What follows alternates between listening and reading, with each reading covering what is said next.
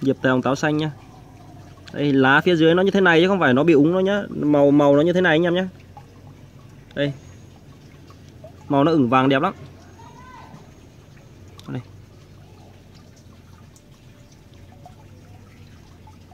Một cộng cho anh em xem này. Lá phía dưới là màu nó ửng vàng này. Đấy, nó đẹp lắm.